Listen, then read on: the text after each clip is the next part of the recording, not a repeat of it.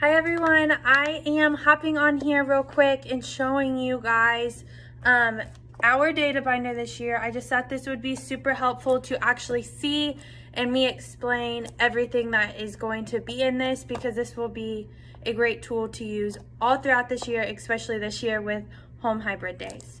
Um, so every kid will have their own binder.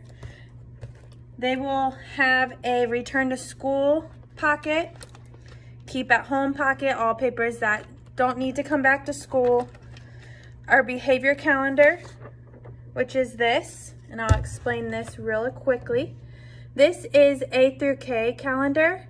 This is the days that they will come. The X is the day that they will not come. And then the um, L through Z will be different. That will go in that pocket. Your child will color um, in what color they landed on were earned that day. You'll also have the weekly assignment sheet. Normally, it will just be this sheet. However, this week, since it's our first week, it is a paper letter describing what will be going on in here.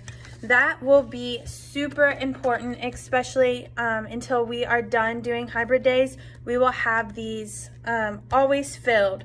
So your child's work will start out um, in the coming weeks doing paper pencil. All that will be in the weekly assignment folder. And then lastly, our last folder is just school resources.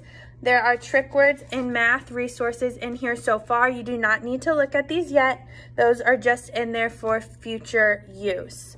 If you have any questions at all, um, please never hesitate to ask. Please um, message me on Remind.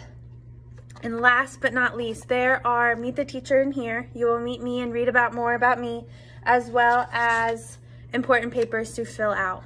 Awesome. Thank you guys so much, and I look forward to seeing your kids Tuesday and Wednesday. Bye, guys.